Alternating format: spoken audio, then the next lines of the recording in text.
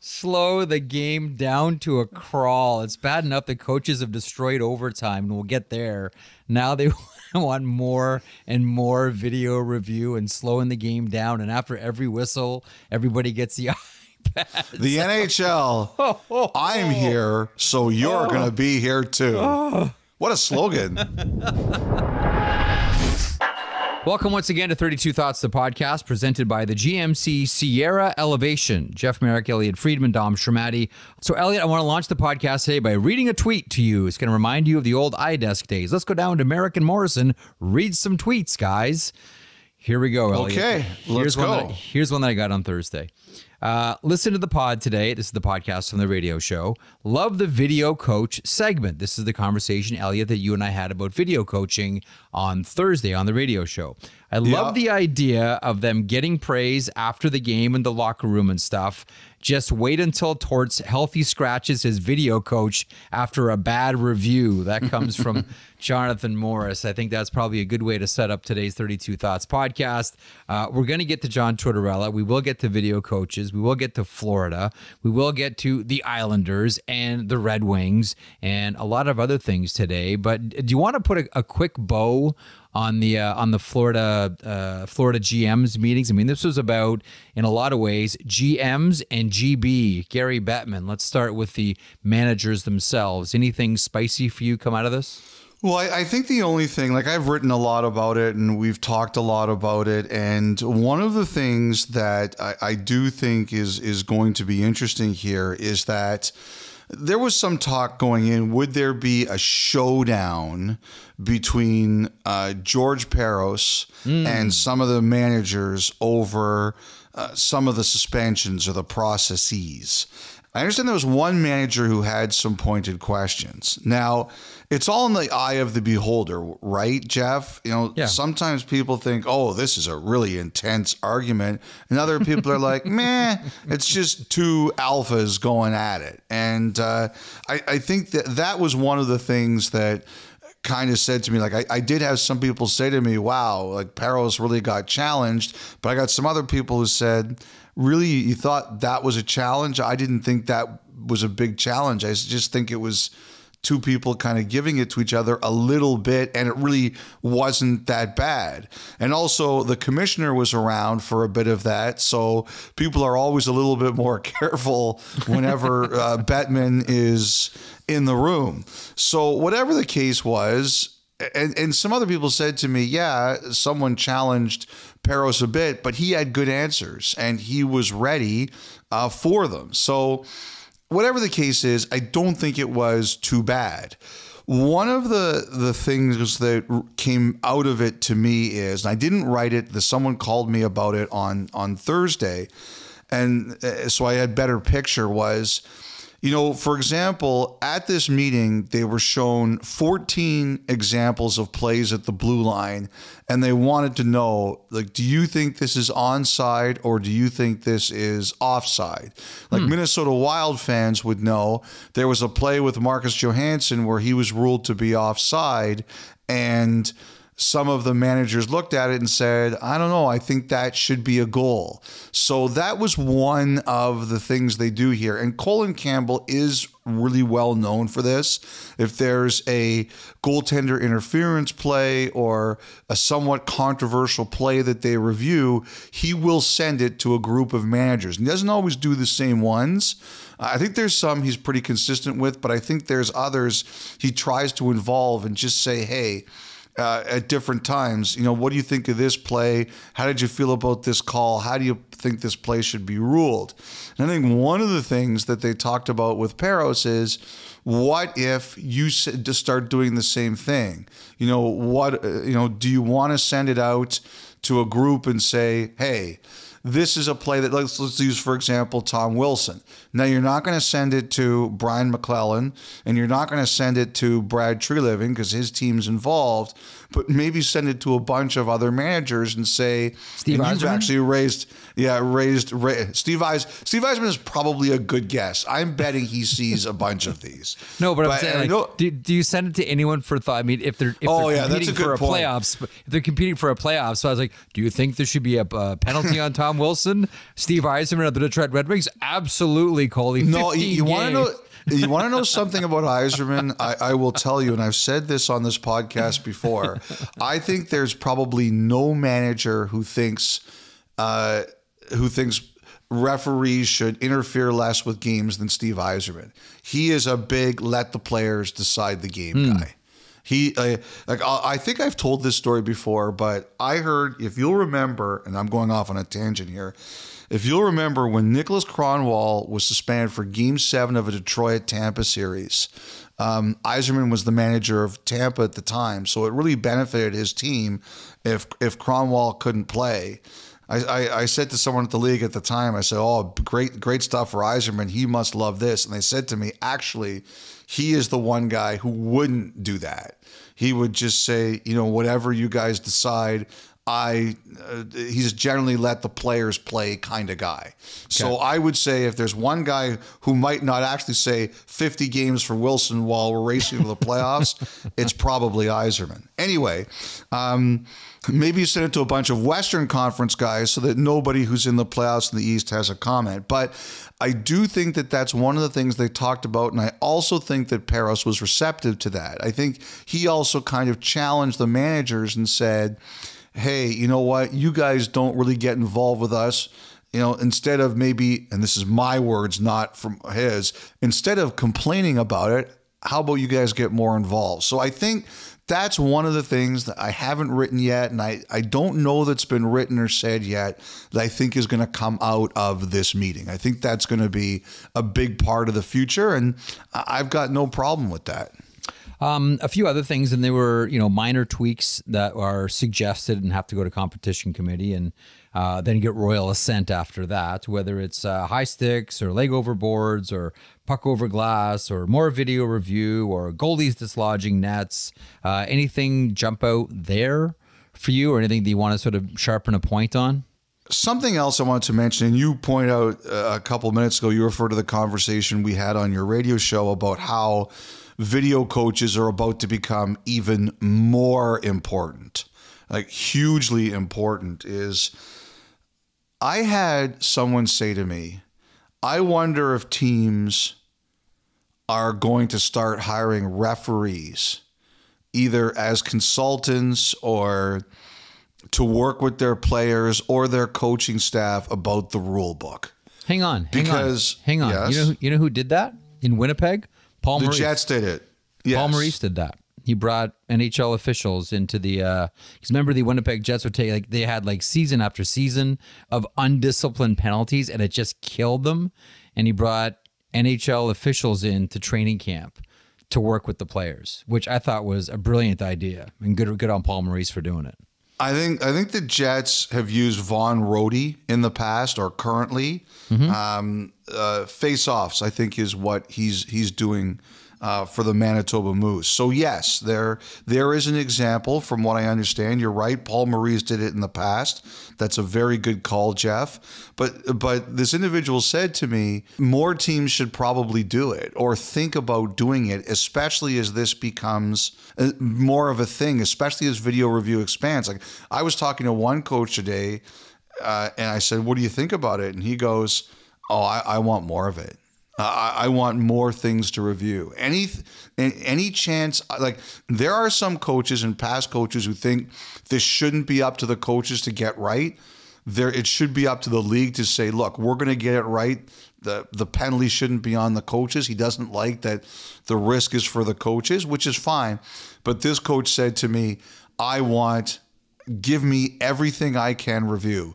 Give me a smorgasbord of reviewery.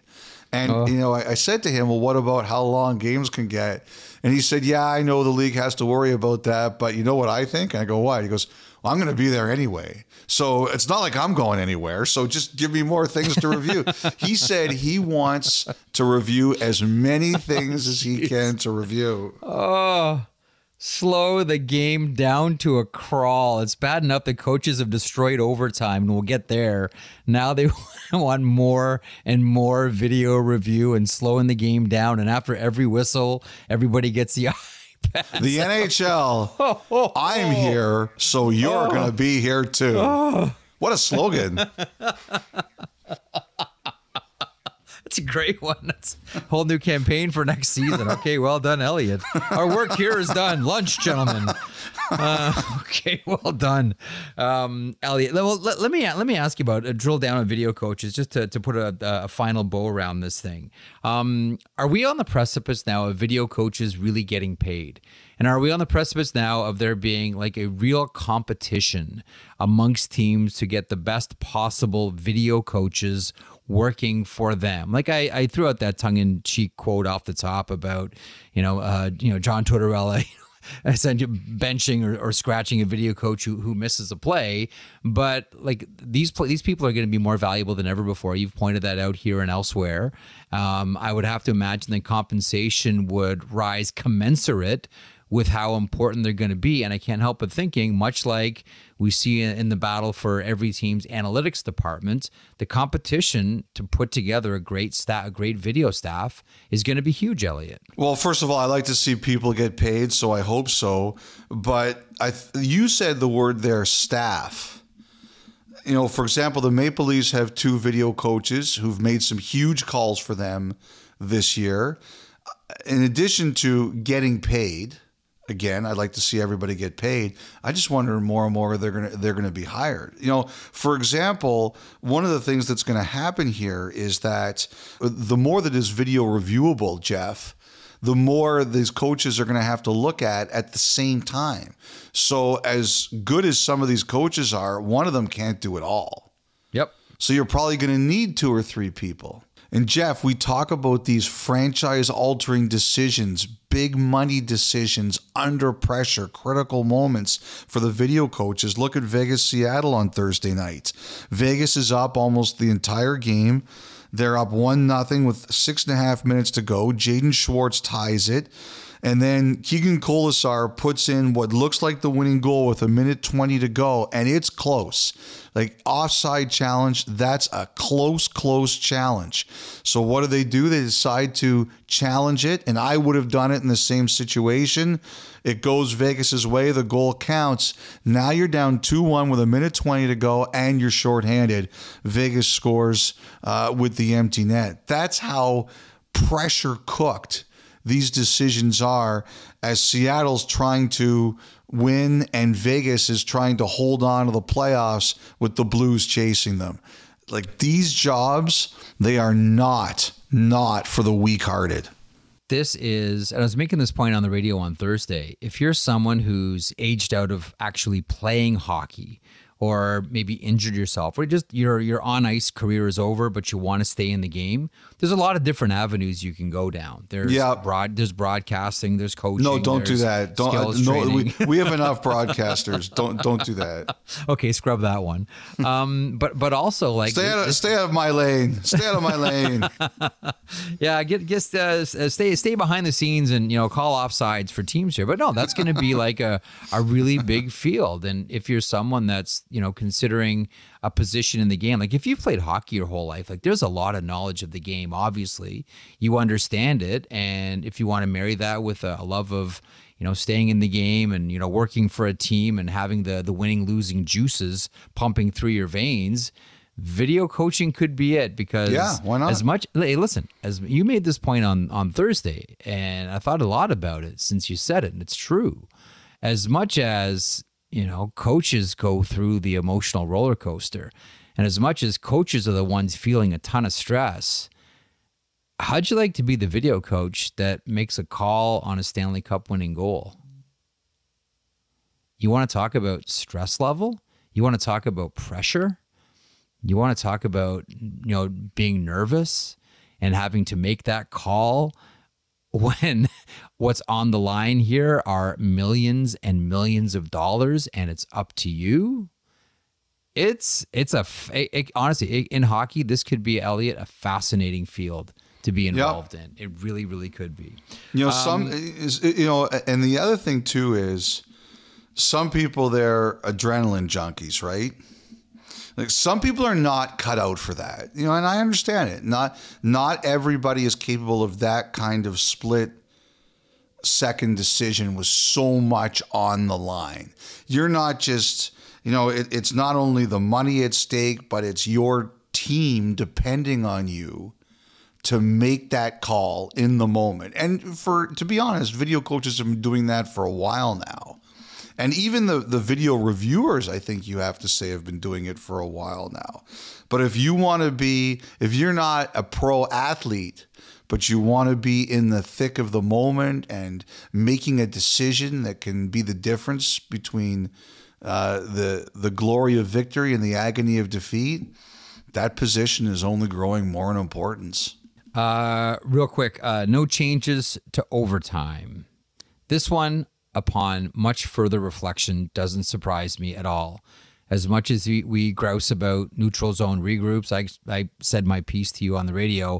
I see that as a symptom of something else. Um, nothing is going to be done about it. Your thoughts on that one? Well, it, it just goes to even though this one coach, his new slogan is "I'm going to be there, so you're going to be there with me too." I, I, I think the NHL looks at it as we are not lengthening these games any more than we have to. We are not adding any more whistles than we have to, unless you give us a good reason. And and I think one of the things here is that nobody has shown them anything that would make overtime better that wouldn't make it longer. And you know the ECHL, they looked at the seven-minute ECHL overtime. That's a bargaining issue. Uh, Yes. I don't know where that would go, but it's not just happening out of nowhere. And and I think there is a feeling, even though players are more careful and they aren't shooting generally as randomly as they used to, even with the regroups the the the chances come back in most cases.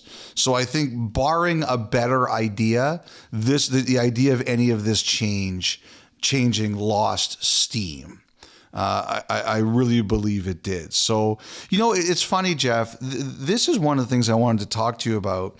We had, I don't know, was it five to seven rule recommendations that still have to go to the competition committee and the board of governors. And uh, you know these were the most since 0405 when they had the lockout year and, and really colin campbell and brendan shanahan et al. kind of redid the game.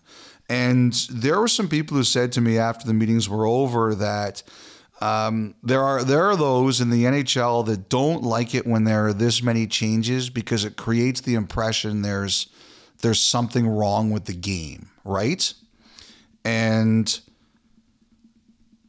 and I, I in this case I don't agree. I, I think if you were making major changes, you would look at it and say we've got a problem. But to me, these are a lot of minor tweaks, not a big deal, and nothing that says the quality of the game is poor.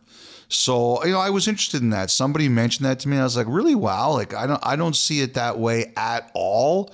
Um, but it just shows you like people are sensitive to that kind of thinking, and I, I don't look at this as in any way, shape, or form saying that the quality of the game is not good. I think it's simply are there things we can do that are not major but can make the game even better? I, I saw it that way. Two things for me on that point. Number one, let's all say it together. Tradition is peer pressure from dead people. If you don't evolve and continue to evolve, your game will stagnate and die. I know we all like to talk about, oh, the tradition, and this is passed on, and this is tradition that's gone back 100 years, blah, blah, blah, blah, blah. Tradition is peer pressure from dead people. I think it's your responsibility as a sport, whether you're hockey, whether you're baseball, whether you're football, basketball, whatever, to constantly review your sport to make sure that you are reflecting the modern tastes of the modern sports fan. Sports fans' tastes are always changing, and I think it's the smart sports, the wise sports that reflect those tastes. Otherwise, they will vanish. So I don't mind this at all. Like I, to be honest with you, I worry when there's a period of you know five or six years when nothing changes. Even if it's a small thing. I, I'm with Even- you on even- that. even- you should, even you just- should even- always be trying to do a little something. Yes. Yes, Something. I, I just to- completely, I completely agree with that. I'm with you on this one. Normally, your ideas are terrible. This one's good. you just like tradition is peer pressure from dead people. I know. It's a That's a great. like, that, "Ooh, that is yeah, a ooh, great like line. that That's a like really that good line. I do Okay. like that. Okay. Um, from there, let's go to some of the games that we saw on Thursday. Now, Elliotte, earlier on this week, there was sort of an awkward moment between you and me. I don't even know if you realized that it happened. What's that? I can't remember. It's like a Tuesday or a Wednesday on the radio show. And I asked you something about the New York Islanders, and you said, I don't know what to say at this point. I can't give you an answer. And I'm like, you know what? He's right, man. We've been banging this one for so long now.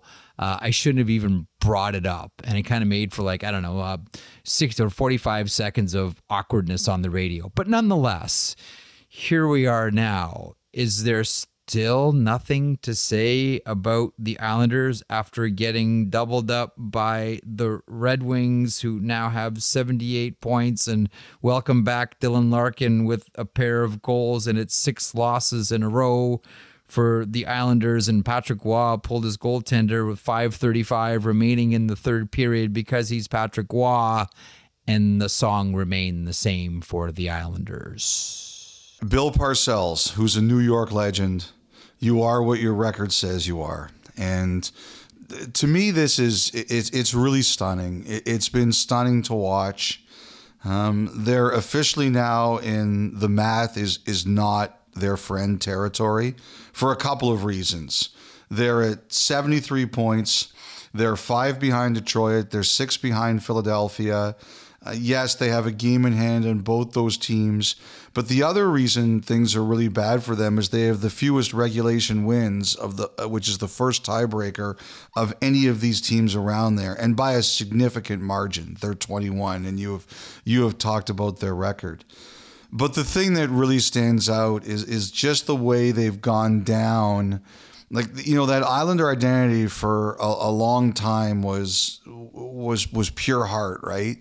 They were the grind team of, of the NHL, and and they were the team that grinded their way to victory in a lot of ways. And uh, Lou Lamoriello is one of the toughest people in the league, and Patrick Roy is one of the toughest players ever to play. And uh, you know, stunningly, at the hardest part of the season, it, the the team just has fallen apart and I I find it shocking. Um, you know, there are some Islander fans online. I don't know why, but my timeline, that for you tab lately, like Elon is clearly listening to me because that for you tab is full of Islander fans saying, "I told you this team was not very good," and, sometimes that's just fatalism. You know, the Yeah. the, the fans are fans, and, and they're a reason they're we're all employed, and I appreciate them for that. But fans are generally a, a group of, hey, we're allowed to say our team is crap, but if you say our team is crap, we're gonna Oh, kill yeah. you. Yeah, and yeah, you know that that's that's fans. but you know they would say that they saw this coming. I have to admit, I, I did not. Look, I I knew they could miss the playoffs. I did not see it ending like this. I, I, I did not see it ending like this. And, and Patrick Roy, you can see he's just at a loss for words. We talked about this on the last pod that one thing that Patrick Roy could not understand is how in a big game you couldn't be ready to be at your best. And you know, one of the things my my favorite memories about Roy was his last Stanley Cup win was in 2001. That was the Avalanche over the Devils in 7 games. Game 4, Colorado was up in that series 2 games to 1. And they were winning 2-1 at the time and had a chance to go up 3 games to 1. And in the third period, he fumbled the puck behind the net. He was trying to puck handle it, and it led to a goal by Scott Gomez. And then Petr Sykora scored late in regulation, and it tied the series at two. And you know, people who knew Roy and the Avalanche said, because that was the big storyline. I remember Roy fumbles game. Roy fumbles game. Devils tie the series. And I remember the people who really knew Roy, the Avalanche, were all like, big deal. Um, you know, he's going to make up for it. And actually, the Devils won game five, four to one in Colorado and had a chance to win the series at home. Well, Roy shut them out in game six, and Colorado won game seven, uh, three to one. And Roy was particularly brilliant early in game six. And so, you know, one of the things they talked about after that was first of all, it was a big game, so you knew Roy was going to be great. And secondly, because he'd made a mistake, you knew eventually he was going to take over the series. And the Colorado players talked about that. And so, like that's that's Roy, right? Like that's that's one of the reasons we all loved him was so I think he's got to be looking at this and just completely at a loss. I'm sure the Islanders organization is is completely at a loss. And you know, if they don't right themselves, you know, they've got a lot of players signed there to big contracts, but they do you know, they do have some that are coming towards the end. You know, people are going to look at this and they're going to say, "Okay, could this be a bit of a changing of the guard in New York? Will the Islanders look at this hard and say, we are going to have to make changes? Because you know someone like Lamoriello and you know someone like Patrick Roy are going to look at this and say, we can't come back with the same group the way this year has ended. Because if there's one thing, and I would bet you even the players there are the same, you know, when you, it's one thing to lose at the end of the year, it's one thing to go through a stretch like this. And unless they really right themselves, these are the kinds of endings to the season that bring change to your organization. Um, I had Ken Daniels, play-by-play voice of the Detroit Red Wings, on the radio show on Thursday, and he gave me a money quote before this game. Um, He's been said, on fire lately, Ken. Oh, Ken's been awesome. He I mean, he always is, but you're you're right. He's really been on fire lately. That call, by the way, in that Columbus game of the Showtime goal, like with all due respect, Pat Foley called some great ones, but man, Ken Daniels calling big moments by Patrick Kane. Holy smoke, sign me up. Okay, this is from Ken Daniels. Quote, this is about the Islanders game um, at Little Caesars. This is likely the biggest hockey game with as much meaning ever played outside of an opener at Little Caesars Arena. Mm-hmm. It had that feel. Like this was must win for the Detroit Red Wings. They needed to create distance Dylan Larkin was coming back. Um, they could, you know, put a nail into the coffin for the Islanders, uh, a team that's, you know, right there with a win that would get a tight turtleneck uh, around the Detroit Red Wings' throats. Um, I think Dan, I, I think Kenny was right. Outside of an opener, that was the biggest Detroit Red Wings game so far at Little Caesars Arena when you factor in everything that was on the line. Now, if the Detroit Red Wings make the playoffs, all of that gets eclipsed. But leading into Thursday's game, this was the biggest hockey game by the Detroit Red Wings at that rink since it's opened. You know, there are going to be people who are going to be very happy to see the Red Wings in the playoffs should they make it, and not just the Red Wings fans. So, you know, our whole thing about expanding the playoffs and we talked on Monday about how people said to me, the way the East is going, they should not expand the playoffs. There are too many garbage teams.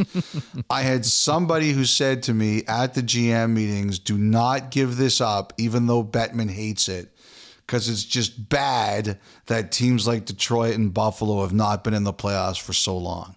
It just it's bad for the markets, it's bad for the league, and it really damages their organizations in their city. So, uh, and the other thing too is Detroit.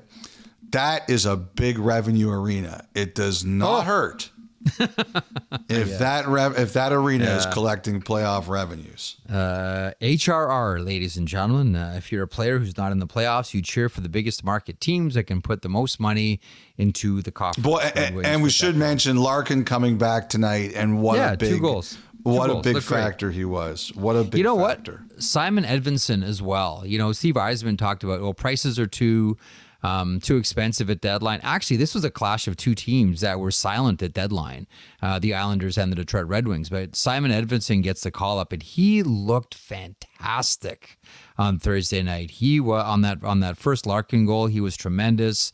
Um, I mean, great wingspan, the size, keeping the puck hot. He was he had a fantastic game on Thursday. Okay, you mentioned friend of the pod Ryan Hanna feeling Yes. vindicated for all of his Simon Edvinsson love. Yeah, yeah. Give me Edvinsson. He proved it, man. He looked great. Yeah. Okay. Um, You mentioned 2001 a couple of seconds ago. I want to rewind to 2001 um, Okay. on a on a different note. In 2001, in Tampa, John Tortorella was the head coach.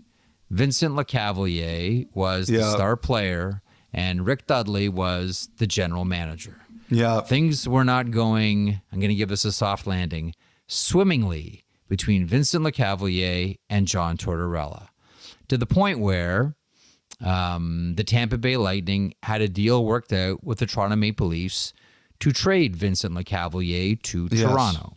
Now, my former partner on Leafs Lunch uh, many years ago, Bill Watters, uh, told me the specifics on that deal because the Maple Leafs wanted to run a one-two up the middle of Mats Sundin and Vincent Lecavalier.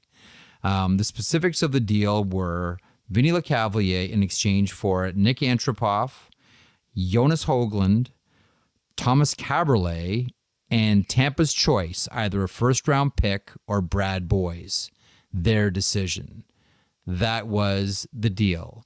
Everybody went to bed on it, thinking it was going to get done, but it didn't get done the next morning.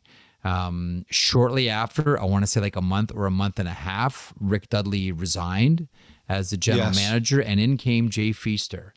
And quite famously in Tampa, Jay Feaster went to both John Tortorella and Vincent Lecavalier and said, Vinny, I'm not firing John. And John, I'm not trading Vinny. You two need to figure this thing out right now because neither of you are going anywhere. Now, that's an extreme example from John Tortorella's past, but it is part of it. How do you see the situation with John Tortorella and Sean Couturier right now? First of all, uh, listening to that, you also remember that Vincent Lecavalier was nearly traded from Tampa to Montreal. There is a Oh, great yes. story to be done one day on all of the Vincent Lecavalier trades that didn't happen that nearly Yes. happened. But your you know your story is obviously right. You had a great source on that, so your your story is is obviously correct. Um, you know, this isn't exactly the same. Um, you know, at the time, Vincent Lecavalier was was what two years into his NHL career, and there were a lot of years to come. This is later. I'm just trying to, Elliot. I'm just trying to capture the spirit of the thing. Um, Yeah, Sorry. yeah, It's a, I it's a- it's week. understand. For, it's a week. For, it's a week for. It's a week for that line. Sorry. And, and the one thing I, I do agree with is, you know, Daniel Briere is going to have a role. He's going to have to play here. And, and and that is uh, brokering, I don't know, whatever it is, a peace, a detente, whatever you want to call it, between John Tortorella and his captain. Um, you know, I, I have to say, Jeff, that this happening a month after uh, Couturier was named captain has spawned a lot of conspiracy theories about what everybody thought of the captaincy being named in the first place. You can only imagine all of the conspiracy theories being thrown around this one. You know, th- there's a lot here that's, you know, again, I- I've said this on your show and I wrote it. Nobody can be surprised at this. This is page one of the Tortorella playbook. There are no sacred cows. And if you can't do what I need you to do, or I feel you're not giving me the effort, and number one, there's no way that he's got a problem with Couturier's effort. As a, you know, I, I do feel, as I've said, this is a pace issue. John, but John Tortorella, if he's not happy with your play or you can't give him what he wants, he's going to take you out of the lineup. It's happened to kids. It's happened to veterans. Um, it's happened to everybody in a year where John Tortorella could be coach of the year. Philly, like nobody thought Philly was going to be here. Nobody. and he's had a great year. He's pushed almost all the right buttons. To me, this shows Couturier's popularity because there were a lot of other players that this could happen to, and nobody would say anything or nobody would fight like this. But it shows how popular a guy Couturier is, how much he's beloved, how much that he is respected for returning to play when it would have been very easy for him to retire and take the money, right? There are people looking at him, and, and and I actually do think that that has been one of the things that's been raised in defense of Couturier, that you, can't do this to him because of all of the effort he put into even playing. Like he didn't quit, he continued to play. And I and I wouldn't be surprised if Tortorella's argued, well, I've already given him benefit and grace for that, but it's time. So you know, the I wondered if he might get back in on Thursday. I was live into your radio show on Thursday and we were talking about it and someone uh, texted me who knows Tortorella and said, you know, be careful until warm up. You never knew if uh, know if Tortorella is throwing the media a fake like he has Couturier skating on the fifth line, and then he shows up and he plays tonight. But obviously that didn't happen. And that guy texted me and said, "Wow, he actually went through with it. I didn't know that he was going to actually go through with it." And you know they lost, and, and though they played hard, and and we'll see what this is going to mean for Saturday night. But you, you know the there's two things about it I think are weird. Number one, Jeff, I, I think it's weird that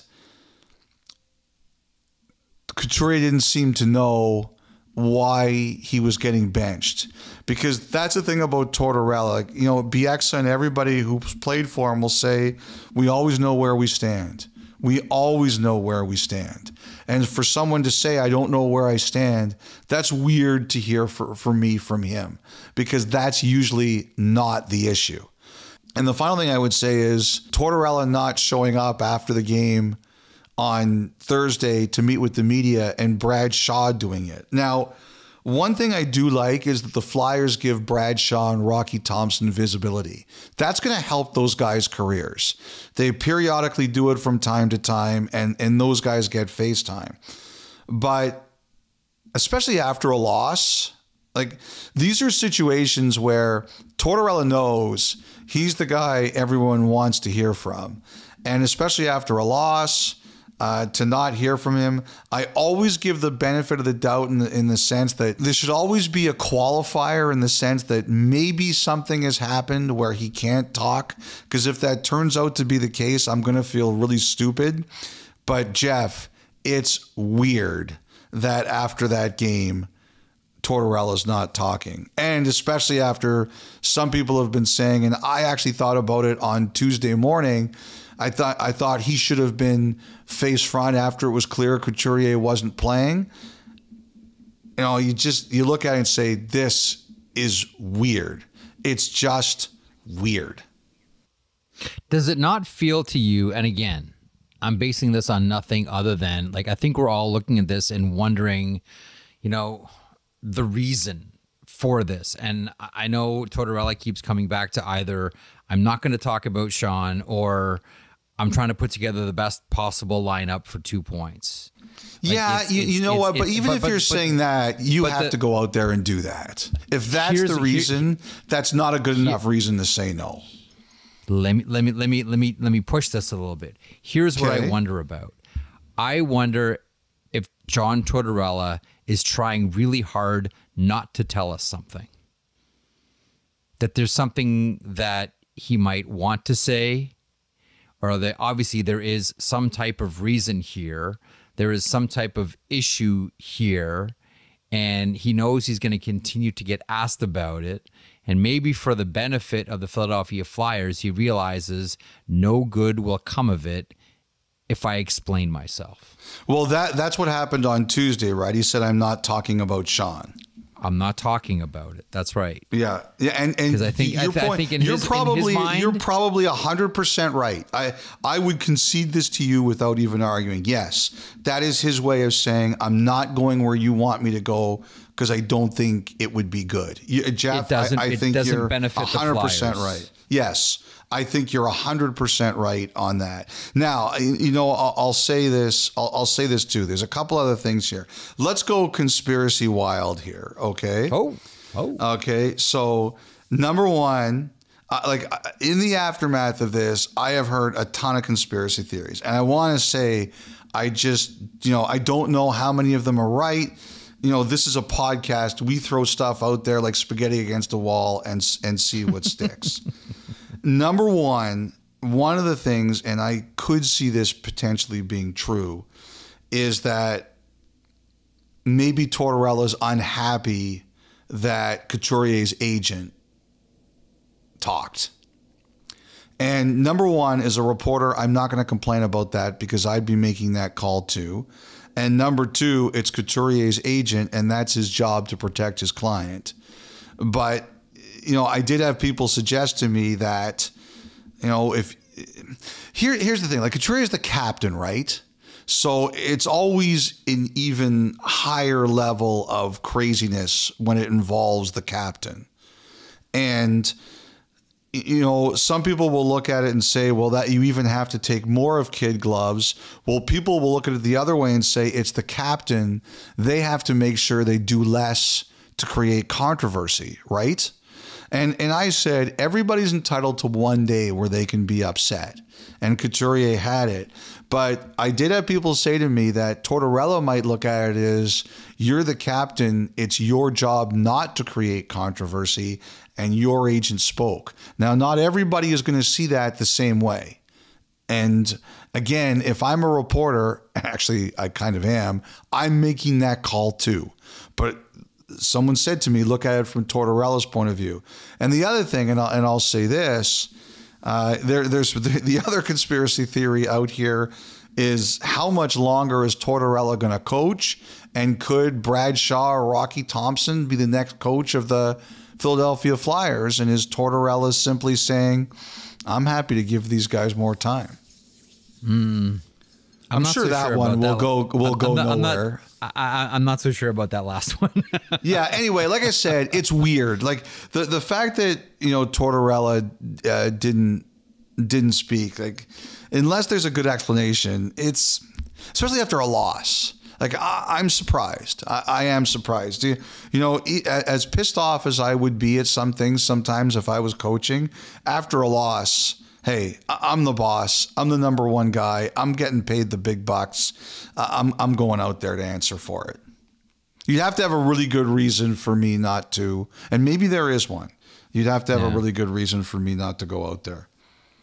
Okay, uh, a couple of more things here before we get to the Montana's thought line. Uh, Yeah. Want to mention the Nashville Predators and their 16 game point streak. Um, they beat the Florida Panthers by a final score of 3 0. Uh, Jason Zucker and Nick Cousins, by the way, um, had their scrap. So Zucker got his retribution on, on Yep. Nick Cousins. Um, and I will applaud Nick Cousins for obliging. Like Yep. they lined up at the draw and they they both went and knuckled up and that's great. Uh, Kevin Lankinen Nick Cousins uh, is really 33 taking it this year, and Oh yeah, and it's not like the thing about this is it's not media; it's his peers.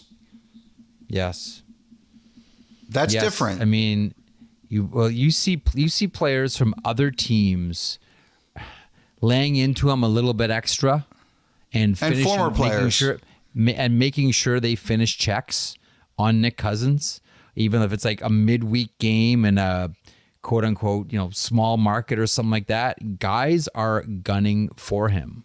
yeah, Like there was a game not too long ago. It was uh, Edmonton in Florida. How many times did Evander Kane go right at him, hard, hard on Nick Cousins, real tough. And I, I think that's part of like how a lot of the the peer, his his peers feel in the NHL about how he's, you know, uh, what he's done with people who they consider to be in vulnerable positions. That is their way of of, of policing the game. Uh, in with 33 saves, uh, picks up the shutout. Uh, Filip Forsberg, Mr. Consistency, two goals, one assist. good on the Preds. I gotta say, like we talk about teams grabbing a spot and taking the two points and you know grabbing their their their wild card spot and running away and hiding. Nashville's doing it. 16 game point streak. So you know what someone said to me on uh, on Thursday? When are you going to start The talking about? Roman Yos Roman Josi for Oh, the yeah. Trophy? Yeah. "Stop with I the know. Norris." He's been- yeah, he's been excellent. Said he said stop with the Norris. The Norris isn't going to be isn't going to be good enough. Josi had another assist. He's got 53 assists this year. You know, he's got he's got 71 points. He's a point per game guy. 71 points in 70 games and he started slow. Yep. No, Guy, it's, the guy said to me, the Norris Trophy is not good enough for Roman Josi. Well, as the Pittsburgh Penguins fall out of this thing, and we wonder if Sidney Crosby goes with them on the uh, the Hart Trophy race, uh, maybe enter Roman Josi in, into that discussion. But it's true, like even if you don't watch Nashville on a consistent basis, but maybe just sort of you know read, read the game sheet uh, uh, every morning just to to catch up on who's doing what. Like you pick it up, and like every game, it's like. Roman Josi, one goal, three assists. Roman Josi, Yeah. three assists. Roman Josi, like uh, two goals and one assist. Like it's just like I, I mentioned, Filip Forsberg's Mister Consistency, but so is Roman Josi. yeah. Every single every game, Elliot.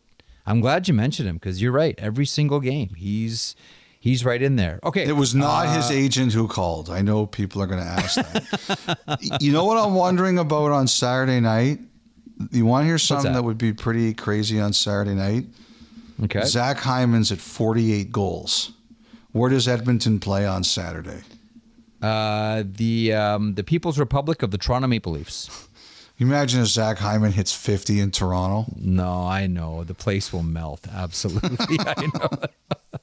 but I think, yeah, hang on. But th- okay, let me ask you this. It's I pretty crazy. fan- I, I I think. Hang on. I think Leafs fans would love it. Uh, I don't know if they would love it. He would get a great ovation there. I, I, I do believe that, but I don't know if love it would be the exact response. Put it put it this way: he gets a, so the perfect thing for the for a, a Maple Leafs fan on Saturday, hockey night in Canada. Edmonton's in Toronto to face off against the Maple Leafs. It's a five four Maple Leafs victory. Hyman scores two for the Oilers uh, to give him fifty goals in a in a losing cause. So Maple Leafs fans can get their two points and also see Zach Hyman get fifty because I think he's still loved. I really do. I, I do like like I said, I think he would get an ovation, uh, but the electricity coming from that building, if Hyman scored his fiftieth on Saturday night, and the electricity going from the social media fiasco that would enrage uh, that would enrage everyone online, could power about ten thousand Neuralinks. I, I really believe. Would be quite. I mean, Okay. it's incredible. Hyman at forty-eight goals, and Yeah, and he's- he's McDavid awesome. is closing in on 100 assists to become the fourth guy ever to do it. But Hyman 50 in in Toronto, I kind of want to see it on Saturday night. I I'd really love I I'd really love to see it happen and you know St. Louis, you know, Vegas won 2, they held on against Seattle. I know what I'm doing here. Vegas won two. They held on against Seattle, but St. Louis went into Ottawa and won. You know, Vegas still has a game in hand, um, but I, I'm glad St. Louis is at least trying to make this a race. You know, Nashville has put themselves in excellent math spot. I think we're all kind of surprised that Vegas is right here, and it looks like Hertl's getting close to skating here. So we'll see what his timetable is. But I want races, and the Blues, at the very least, are making this one a race. You know, Minnesota had an ugly game uh, this week. The six nothing loss to the, LA, the six oh nothing God. loss to LA. Brodin's hurt. Eriksson Ek is hurt. It's not looking good for them. If anyone's going to give us a race in the West, it looks like it's the Blues, and they they Yeah. did their part on on Thursday night. All you can do is create pressure. And you know what? I actually, speaking of LA, there was a there was a great tweet I saw. I wanted to recognize, and it was a tweet from uh, Daddy Kopitar on X. And you know he pointed out Daddy should be- Kopitar. Yes. Now I assume I this is a it. person because their Oh. name is Daddy Kopitar. So I'm going with. I'm assuming this is a he. A he. Daddy Kop- Daddy Kopitar, if that is indeed your real name. So he tweets. Anze Kopitar is about to break into the top 50 all-time points leaders. Never had a points per game teammate in his career. Two Stanley Cups, two Lady Byngs, hmm. Two Selke trophies, MVP finalists. This week he got the second game misconduct of his career, and he goes he's arguably the greatest two-way forward of all time. That's that's that's pretty impressive stuff. Really impressive stuff. And uh, you know the Kings are a weird team. Like there's there's games I watch them and like oh these guys are going to be a, a a real tough handle for someone. There's games I watch them and I'm like what am I watching here? These guys have forgotten how to play hockey. But you know right now it looks like it's Kings Oilers first round for the third year in a row. And I, Yep. I don't know what Kings team we're going to get here yet, but boy, Kopitar just consistency, consistency, consistency for 20 years. Guy deserves the recognition. Best LA King of all time. I, I think you'd have to say yes. Uh, Mm-hmm. I, I really do. At a time where another former king, Jonathan Quick, tied the record for most wins by a U.S. born Hmm. goaltender by beating the Bruins. I, I I think you'd, you'd have to say yes. I don't know who you would have put there before. Wayne Gretzky, even though he wasn't there for a long time. Luc Marcel Robitaille, Dionne. Marcel Dionne, Dave Taylor, Dionne. Rogie Vachon, Rob Oh, Blake. my heart. My Rob heart, Blake. heart. I I think you have to say it's it's Kopitar. Yeah, uh, it is. And you Uh, know what? If I was Kopitar, if I was Kopitar, I would say my statue has at least needs to be at least one inch bigger than Dustin Brown's statue. I would I would do that just to be that petty. Okay, just to be that. Petty. Um, let me circle back on one thing. You mentioned the St. Louis Blues a couple of seconds ago. Uh, congratulations to Zach Dean, who made his uh, NHL debut with the St. Louis Blues, a former first round draft pick of the Vegas Golden Knights. Uh, was the piece that St. Louis got in the Ivan Barbashev deal. Uh, former gold medalist for Team Canada World Juniors. Uh, played his minor hockey in Newfoundland. Born in Alberta. Family moved to Newfoundland. He played in Gatineau, right across the way from Ottawa. Uh, so, a real special moment there in his first game. I would imagine there would have been plenty of friends and family. And as you like to say, Elliot, when there's that many in the stands, you are playing for Free. free. Congratulations on your first NHL game. You're playing for free. Congratulations, Zach Dean there. Um, quick thought on Tom Wilson in person hearing the, uh, Whoa, the high stick on Noah Gregor. You have a, a thought on this? It was it was a bizarre scene because it even seemed to surprise Tom Wilson that he did that. Like the minute it happened, like Wilson grabs Noah Gregor as if to say, I didn't really know what happened there. Like it looked like he was trying. Again, this is going to sound weird. He was trying to swing his stick at him, but didn't think he was going to catch him in the face. You know what I mean? Like I think it even Yes. surprised Tom Wilson. Yeah, but still, uh, to Oh, me, know, what it I know. says is that Uh, this is a. They're looking at it like this is a really tough one for Washington. You you cannot afford to lose him, but you know you're you're going to right. So, but they're they're simply going to say you know he's got a history and he has to control his stick better than this. Like he just has to do uh, a, a, better job. And now we have seen this year, we've seen big suspensions to players who weren't injured. Perron, six games, Riley, five games. Like it used to be to get this kind of suspension, injuries had to be involved. Now we're Yeah. not there anymore. Perron and Riley had no history, right? Wilson obviously does. Like when I saw he got offered an in person hearing, I said to someone, Are we talking like 15, 20 games here?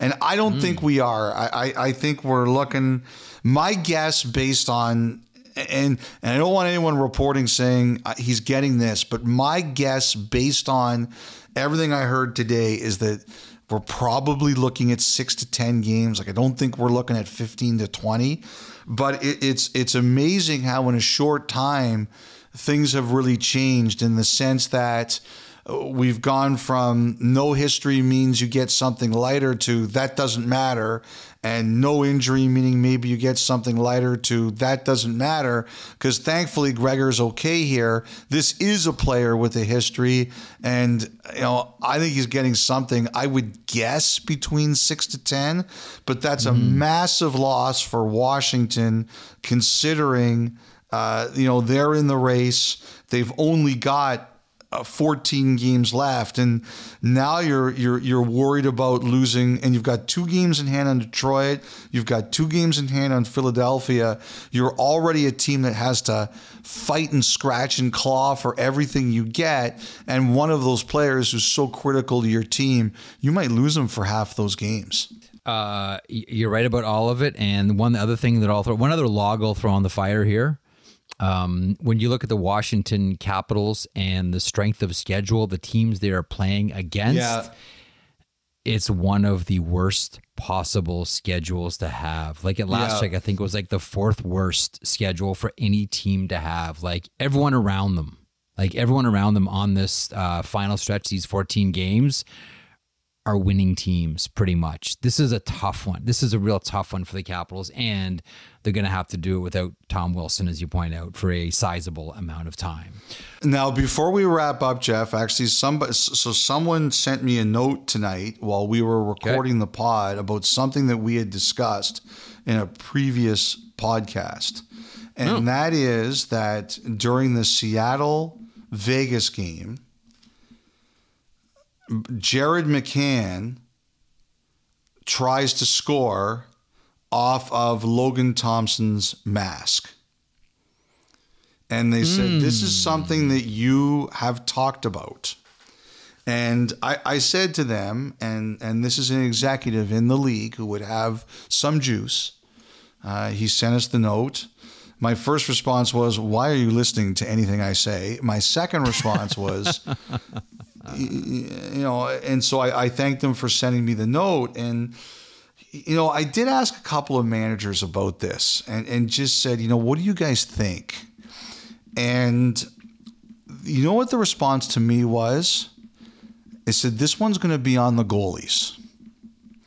And I said, why do you think that? And he said, because if a player is shooting where he can score, like if the goalie was standing with his head over the net and players were shooting at their mask, then you'd go to the players and you'd say, hey, you, you, you can't do that. We, we're going to stop that. But mm-hmm. if the goalie's mask is in a place where the player can score, you can't tell the players not to shoot there. Yep. I agree completely. I 100%. That's why like I know there is a sensitivity obviously around directing, you know, fists or sticks or in this case pucks at someone's head. But if the goaltender is going to choose to seal up a corner with his head and only leave a little bit of space, players now have the skill to bank it off their heads. I'm the same way. Like if it's above the crossbar or if it's like like we all remember the Wendell Clark Curtis Joseph, you know, it's a blowout game and he comes down, blasts one off Curtis Joseph face. It's like, oh, okay. Like I, I, always look back at that one, Elliot. It's funny too. I look back at that one and think, wow, if Twitter was around then, uh, how much would hockey Twitter have melted uh, during that scene with all the, with all the takes? But as long as netminders, and so far, like the other thing that I'll say is, so far we haven't heard goalies complain about it. We haven't no. had either an injury nor have we had a goalie complain about it yet. Do things change if there is an injury or if a goalie complains about it? Maybe, probably. At least there's a conversation. At least maybe it becomes uh, an agenda item at the general managers' meetings. I, I'm not sure. But as of right now, the only people that seem to be talking about it are podcasts or radio shows or intermissions on on various games. But I, I do wonder if there's going to be a goalie somewhere down the road and says, hold on a second here. What about my head? Why don't you protect mine here? And I think the right point is, well, don't stick it in places where players are trying to shoot. Right? I 100% agree. Okay. Uh, on that, we will pause. Uh, when we return, we try the ribs. Montana's Thought Line in moments. Listen to the 32 Thoughts podcast ad free on Amazon Music, included with Prime.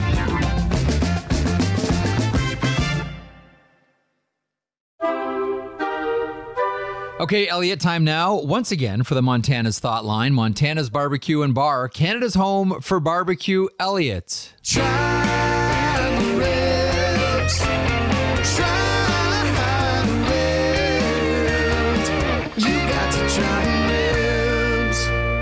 It's fantastic. And if somebody goes to that much of an effort to do this, we're using it. That is the new try the ribs for the next little while until Yes. my mercurial mind decides oh goodness. something else. So again, that is uh, Rick Turner from last week with his hit new single "Try the Ribs." Uh, he sent something along to the thought line, by the way, at 32thoughts at sportsnet.ca. Uh, hey guys, heard the jingle on the pod. Thanks for the kind words. Wanted to follow up and say I'm from Perth, Ontario. A buddy from Brockville, Ontario, Leo Diesenthuber, help with the music production. So Leo, thank you. Rick, thank you as always for the Try the Ribs jingle. 32 thoughts at sportsnet.ca 1 833 311 3232. With that, let's jump right in. And let's go to Scotland. hold on before we before we do that. Okay. I oh, have- wait a minute. Yes, Oh, you yes, have some updates. Four yes. updates. Four. Okay. Oh, geez. Okay. Four, updates. Okay, so I, Okay, you hang know on. what? Can, can you tell Elliotte had some time at the airport this week? well, you know, I, I got to give credit to people, some of them who work in the NHL, some of them uh, regular fans and listeners who hear things and they say, well, what about this or know this? So, here, first of all, one is Ken Daniels, who you had on your radio show. He was great. On, on, on Thursday. And he's talked about Stephen Halko, players who had no goals and a ton of shots. And he pointed out that in the last game at Joe Louis Arena for the Red Wings, Riley Sheahan came into that game with hmm. no goals on 106 shots that season Yep. and scored twice, including the final goal ever scored at that arena. By the way, another broadcaster pointed out that Halko's defense partner that year was one Paul of the Coffey. greatest defensemen in NHL history. Paul Coffey. Paul Coffey. So it's all Coffey's fault. Okay. Yeah, Second, yeah. Yes. an unnamed NHL executive hearing the conversation about longest name on the back of a jersey mentioned Jakob Forsbacka Karlsson. And he said, Jeff, that does not qualify under your hyphenated names because Forsbacka Karlsson did not hyphenate, those two names. Yes, uh, that's true. And one of the reasons why I loved Jakob Forsbacka Karlsson playing with the Boston Bruins specifically, Elliotte, do you know why? No, why? Initials JFK. Come on, man. Like that's an obvious one, isn't it? Come on, it's kind of perfect. You know what, Jeff? I didn't even think of that. That's that that's pretty good. Yeah. Okay, third one from a tweeter by the name of Tommy Garner. We talked about player with four teams in a single contract. Jamie Devan brought Mark Arcobello. Here's another one. David Perron signed a four-year deal with St. Louis in 2012, traded to Edmonton, to Pittsburgh, then Anaheim before signing back with St. Louis. So it wasn't one season like Arcobello, but it was a four year deal where he ended up playing for four teams. Okay. Let me can I add on to that one because I Sure. had one executive text me two names for that one. This one was kind of fertile ground that we found here. I love this cleanup aspect here of the Montana's thought line um, about players playing for multiple teams on the same contract. One executive sent me two examples. One, Erik Gudbranson, who played for five teams on a three year contract. And the other, and I'd forgotten about this, this is spectacular. Jussi Jokinen, four teams on one contract. Here they are. This is 2017 18. The Edmonton Oilers, the Los Angeles Kings, the Columbus Blue Jackets, and the Vancouver Canucks. Hmm. Are you are you willing to crown him as our winner? Four teams, one year contract. Jeff, what it comes down to, I think, to answer your question, is is it more impressive to play on four teams in the same one year deal or four teams over a four year contract, which you think would buy you security? I think it's the four teams on a one year deal. Yeah, that's because you pre- that's because you presented it. Tommy Garner on Twitter. I'm with you. And the last one, the last one is see Jeff's all for himself. I am all for the listeners. I'm team me. Uh, oh, look, there's my navel. Hey, look, another mirror. Let me just hop in front. So I was when I was flying home from Fort Lauderdale on Wednesday. I ran into uh, a couple of uh, listeners. Their names were Brad and Jeff. They were from Montreal, and they told me that they went to a hockey camp where a friend of theirs who played goal had his hand broken by Gaston Gingras. There's another one. Another one. So it's not just Cassidy Sauve who's now playing. It's not just Cassidy Sauve, but there was another. How a goalie many? who, and it oh, was a a shot from center ice. They said they said they were listening to the podcast when you were talking about Cassidy Sauve, and they were laughing. And when we ran into each other on Thursday or on Wednesday in Fort Lauderdale, they said we were hoping someday we would get a chance to tell you this story. But their friend had his hand broken on a Gaston Gingras slap shot from center ice. And they also said that when Gingras would get upset at the players because they weren't paying attention, he would turn and he would shoot, he would make sure nobody was there first, but he would shoot the puck over the glass at the wall of the arena to get everyone's attention. And that worked. Here's my question as we go down these roads of hockey geekdom. I wonder how many hands Gaston Gingras has broken. How many goalie hands has At Gaston. Gingras broken? Well, we know two. We know that there are two. I suspect that there might be more. If you are someone who listens to this podcast, obviously, and knows of any more victims of the Gaston Gingras slapshot, please inform us immediately. The way to get in touch is the Montana's Thought Line, which is now turned into like a detective service here. Find out That's how many hands Gaston Gingras has broken. 32 thoughts at sportsnet.ca or leave us a voicemail. Maybe you've had your hand broken by Gaston Gingras. 1 833 311 3232. This podcast is taking a weird turn. Any more cleanups, Elliotte? No, those four. All right, those are good. Um, let's go to Niall in Scotland. Hey guys, big fan of the pod from Scotland. Thanks for all you do. Um, to me, you guys are like the news, and chicklets are like the entertainment. That's meant as a compliment to both. Anyhow, the recent chat around the Minnesota overtime goalie poll got me thinking. For every action, there is an equal and opposite reaction.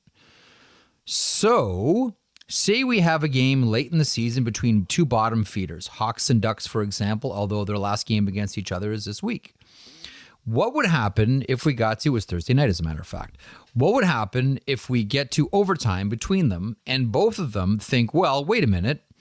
Well, we don't want one point, let alone two, and both pull their goaltenders, hoping to go home with zero points and increase their lottery odds. Would this be allowed? Would the teams be penalized for lack of sporting integrity? Keen to hear your thoughts. Cheers and go Flames. So, our friend in Scotland, Niall, is a Calgary Flames fan, Elliotte. Two teams at the end of the game pulling Well, I their think the goaltenders. Flames should bring him to Calgary to go see a game in person, don't you? Clearly, absolutely. Get off your wallet. Bring our friend from Scotland to the Scotiabank Saddledome. um, lack of sportsmanship. We're not here for the points. First of all, I don't see any way how they could stop them from doing it if two teams really wanted to do it. Maybe they hear this podcast and ask that question and prematurely step out and say, We're not allowing this to occur. But as far as I know, there's nothing that could prevent them from doing that. there's there there's nothing other than you just get the wrath and the scorn from the industry. And here's the thing too, we've talked about this before. As much as managers and perhaps owners as well may want, you know, the team to fold to get yourself the better lottery odds, get a better draft pick, etc. Players don't think that way. Like I've always thought about this. If you had a scenario the likes of which that Niall submits here, what would a player do if their coach told them, go score on your own net? We need to lose this game. What would that player do? Because my guess is mm, the player would tell the coach to go kick rocks. I'm not going out there and doing that to myself. Because I have I have wondered about this scenario when a team wants a tank, whether it was the previous, you know, Mario Lemieux sweepstakes that we can mm-hmm. all recall that battle between Pittsburgh and New Jersey. But I've always wondered what would a player do if the coach, on instructions from the manager, said, ah, We can't win this game. We need the better lottery odds. Go score on your own net. I'm guessing the majority, if not all, players on that team would say, Not a chance. There's no way I'll do that. Uh, first of all, I would say before I do that, do I have an eight-year, sixty-four million dollar extension Yes. on the table? Good point. Yeah. That would be my first thing. You know what? That would be the kind of thing where I, I could see the commissioner, who does have some power over this kind of thing, he would he would probably he would hammer a team with a huge fine. That's one of those things that that is detrimental to the game, and you if you can prove it, which you probably would be able to prove just by the video itself, you fine a team half a million dollars, something like that, and you suspend the coach. And I don't think anybody would protest that. Yeah, especially not you know considering how um, how sports wagering is such a huge thing, not just in hockey but in all of sports as well. That the uh, and this would this wouldn't be subtle. The obviousness of um, poor behavior, or as our uh, emailer submits here, uh, Niall, um, lack of sporting integrity. I couldn't see it happening, but I always have wondered, what would a player say? What would a player do? Okay, let's get to Ricky in Richmond, British Columbia. Hey, Elliotte and Jeff, I read that Wayne Simmonds signed a one day contract to retire as a flyer. I understand it is just a gesture to retire in a certain franchise, but has any player ever suited up and played a game on a one day contract? Oh, yes, there has. Thanks for your mm. time. Love the pod. Try the ribs. Change your oil. Hey, Elliotte, how about that? He slides that one. It's catching on. too. nice. There was one that I can think of. Who's that? Gordie Howe. Hmm. 1999. You'll remember this, Elliotte. He signed with the Detroit Vipers Oh, for yes, one yes, game. yes. For one game. Uh, so he could say that he played in six different decades. The Gordie Howe one day contract. That's the only one that I could think of off the top of my head. Maybe further research and examination may come up with some other examples, but that's the one that popped to me right away. Gordie Howe, 1999, Detroit Vipers, who, by the way, had one of the coolest looking logos the game has ever seen. I love those. Yes, that Vipers was a great one. Oh, beautiful. I'm trying to think of if there's any NHL player who's played for signed a one game contract. I mean, there's plenty of guys who've played one game. Yes. Ken Reid wrote a great book about it. I'm trying to think about one game contracts. I can't even think of anything like that. Nope. Um, I mean, in, in some way, the e bugs can be one game contracts, but those are unique. Yeah. That doesn't. I don't, I don't think that fits what um what Ricky in Richmond, BC, is shooting for here. I wonder if Gordie's it. I really do, but we shall see. Let's uh let's finish up with this one. Um, this is John from State College, PA, by way of Kingston, Ontario. Good afternoon. As the Buffalo Sabres are in the hunt for a playoff spot, I can't help but think about Jeff Skinner. Many people like to discuss great NHL players who have never won the Stanley Cup, but I've never heard a discussion surrounding great NHL players to never make a playoff appearance. Jeff Skinner is in his 14th NHL season, none of which have resulted in his Hurricanes or Sabres qualifying for the playoffs. The fact we had an expanded playoff in 2020 and his team didn't qualify makes this even crazier. This guy has played almost 1,000 career games with over 350 goals and nearly 700 points, but we've never seen him play when it matters the most. And just to make things worse, Carolina made the conference finals this season after Skinner left. Rough. This fact blows my mind every single year, so I'm wondering who comes to mind when you think of other longtime NHL players who never play on a playoff team. Take care and go Ducks. John is an Anaheim Ducks fan. There's a couple that come to mind for me. All right, why don't you go first? Ladislav Smid is one. Speaking of Ducks, uh, Ladi Smid would be one of those. Um, currently in the NHL, not just Jeff Skinner, and he is the one that, you know, much like uh, John at State College uh, mentions, I think about often too. Like, I think a lot about Jeff Skinner, and you look at the hockey DB, and it's bagels uh, for playoff appearances. Uh, Rasmus Ristolainen is someone who's never played. Well, the guy who did it last year was Sam Reinhart. Yes. Sam Reinhart was that guy, and then obviously he got traded to Florida, and they went to the Stanley Cup final. Yep. Um, there's two more that came to mind for me. One, Guy Charron, who I think comes to mind for a lot of other uh, people Yes, as well. that's the one I always remember from when I was a kid. Same. And then the netminder, Mike Dunham, uh, never played a playoff game either. There was a few that were close. But Mike Dunham Um, was on playoff teams, right? So Dunham would have backed up Marty Brodeur, but never gotten any playoff games. So maybe that's a technicality, Elliotte. The other two that I think of who just have only a couple of games, uh, a couple of playoff games, but they've played over a thousand NHL games. One of them is one of our favorites, and that's Sam Gagne, who at the time of this recording has played 1,042 games in the regular season and 11 in the postseason, and Olli Jokinen who played Right. 1,200, 1,231 regular season games and six in the postseason. I remember that it took Jokinen a long Oh. time. But Guy Charron was always the one I remembered uh, as a kid because he had the longest one for a while. So that's kind of the one that sticks with me Mm-hmm. because I just remember it growing up, Ron Hainsey was almost that guy. Right? He listens Ron to the pod, so he'll be happy to hear you bring that up. Well, he, I mean, his streak was broken by winning the Stanley Cup. Like, come on, you go from not playing in the playoffs. Like, how many That's players? right. was- if if you would say to any player, okay, here's a question for you. Outhouse you to the penthouse. you go to any player and you say, okay, here's the deal. You're going to have a 15 year NHL career. You're never going to make the playoffs until the one year that you finally do and you win the Stanley Cup. Are you cool with that? And they'll all say, 100% I am. Yeah, if I if I knew I was guaranteed a cup win, it would be a hard one for me to live for that long. But if I knew there was gold at the end of the rainbow, I would probably do it.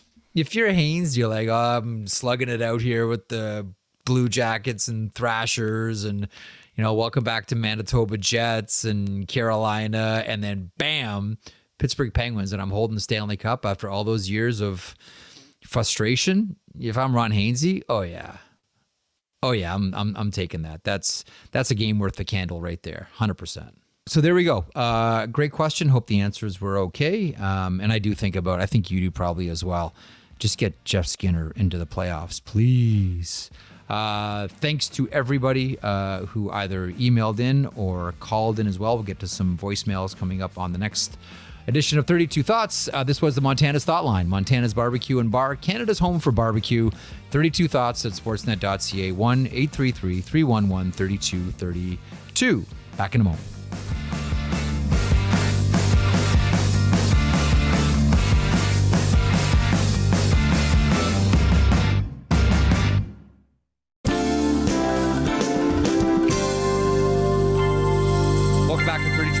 Podcast presented by the GMC Sierra Elevation. Quick reminder uh, Hockey Night in Canada. Check the oil. At- I love it. You're forcing this. You're, you've walked into the hat shop. You've only found one hat, but damn it, you're going to make it fit. And I love you for it, Elliotte. Uh, Edmonton faces off against Toronto. Ottawa faces off against New Jersey. Late game, the Vancouver Canucks host the Calgary Flames. Um, to wrap up, Elliotte, this was a tough week for hockey. Um, the sport losing uh, two players, uh, Konstantin Koltsov and also Chris Simon. Um, I talked to Mikhail Grabovski, who was close with uh, with Koltsov this week when he passed, and you know Grabo talked a lot about how you know they were roommates, they were teammates, wonderful guy, Um, I, I think you know Grabo, like a lot of his you know former teammates and friends, were just devastated um, by the loss. Um, and I spoke to Todd Warriner specifically about the passing of Chris Simon. And, you know, Warriner said something that I've heard other people that played with Chris Simon echo. And that is when you first went into the dressing room with Chris Simon on your team, on the one hand, you're intimidated because he's such a large presence and a large man, and you know was a scary, scary dude when he played. Like nobody messed with Chris Simon. Um, but then right away, he became A, your best friend, and B, the friendliest and best teammate anyone anyone could ever have. You know, Warriner told me uh, all kinds of stories about, you know, this different side of Chris Simon that nobody got to see unless you were a teammate. And he would have, and they were with, they were with each other with the with the Quebec Nordiques, have players, Elliotte, just howling in like in like you know your belly hurts laughter just a larger than life personality loved by his teammates uh, certainly loved by fans and missed by everybody elliotte First of all, those are great words, Jeff. I didn't know Koltsov at all, but Colby Armstrong did. So, you know, reading and, and, and hearing Colby about him, um, uh, it's it's really tough. The Chris Simon news is really tough. I've dealt with suicide in my life. I don't like it, and I don't like talking about it. Um, I I would just say that in both Canada and the U.S., there is 988 to call and text. Uh, as they say, help is available. Someone is always um, willing to listen. Um, you know, it, uh, it. I have a lot of deep feelings about this that I'm not going to get into on, on this pod. It's very personal, but I, I, I think it's it's very sad. And uh, you know, one of the people I really think about here, and I haven't spoken to him yet, is uh, is Glenn Healy. And Glenn runs the NHL Alumni Association, and he takes incredible pride in being able to help as many people as he can.